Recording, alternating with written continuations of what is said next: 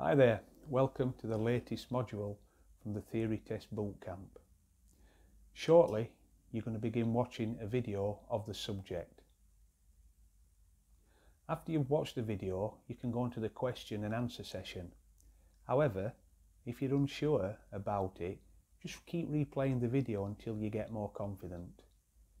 Even after answering the questions, don't worry how many you're getting wrong or right. You can always go back to the video and watch it again.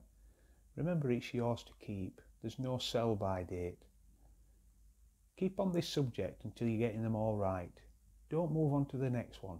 This is why it's been designed like this, so that you're not having to go here, there and everywhere.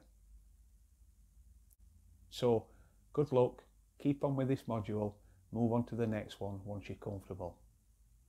See you soon, bye.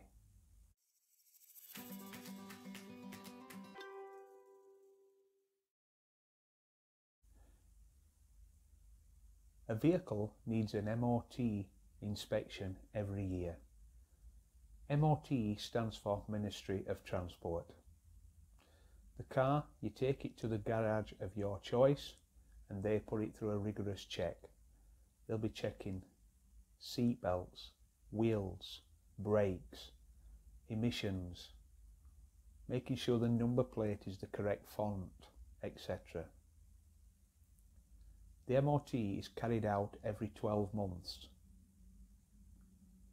Your car needs its first MOT when it is three years old and then every year after. The only time you are not the only time you are allowed to drive your car on the road without an MOT is when you're going to a pre-arranged appointment to have the MOT done. The MOT lasts for 12 months, but it doesn't mean to say that your car or vehicle is roadworthy for them 12 months. You might take your vehicle out of the MOT garage at 1 minute past 12 and at 2 minutes past 12 a bulb might suddenly break. That bulb needs replacing because technically it's breaking the MOT rule.